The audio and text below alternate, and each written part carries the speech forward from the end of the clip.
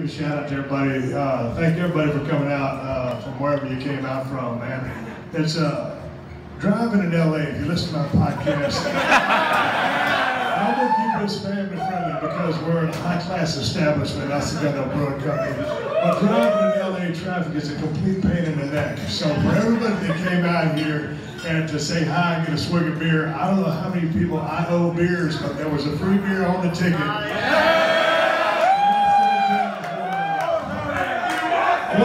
I, wanna, before you start doing the thank you also stuff, I want to thank you guys. And I've been getting a lot of questions about Steve. Why did you brew an IPA?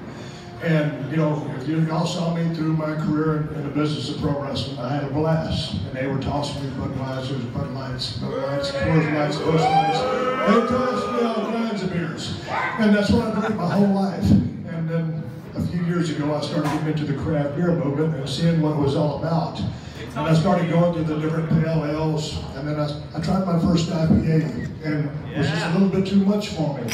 And I went back to that pale ale, and it wasn't enough. And so then I went back to the IPA, and that's where I've been ever since for about well, past a year, year and a half.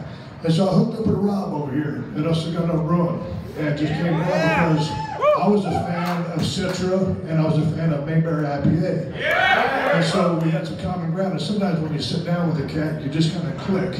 And we did. And we started talking about coming out with the beer together. And these guys are kicking ass, making great brews way before I came along. And so we sat down over a table of beers. Um, and, and Rob is more technical than I am because this is what he does for a living. He's been done for a long time.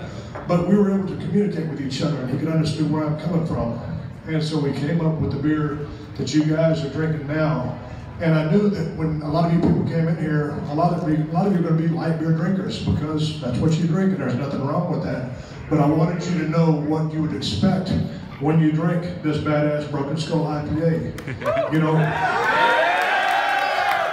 to me, of beer, cheers,